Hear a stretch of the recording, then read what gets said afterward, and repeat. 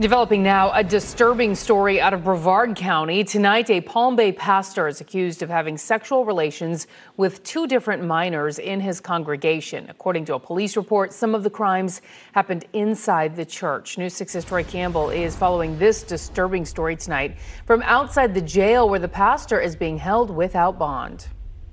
Palm Bay police say the pastor and self-defense instructors locked up here at the Brevard County Jail after they recorded a phone conversation where he admitted to sexually assaulting the two victims.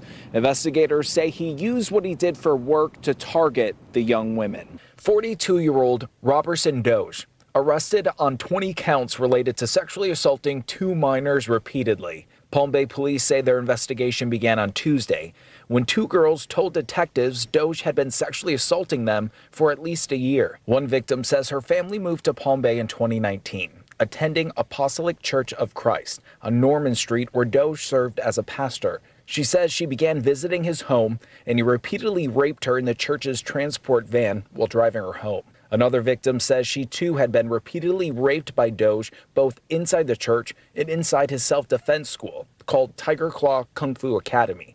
Located on Palm Bay Road. She also told investigators Doge employed her at the business, where some of the abuse also occurred. In the presence of a detective on a recorded call, police say Doge apologized to one of the victims and pleaded with her to not tell anyone, adding he has been sick to his stomach and that he was sorry and he loved victim one and victim two.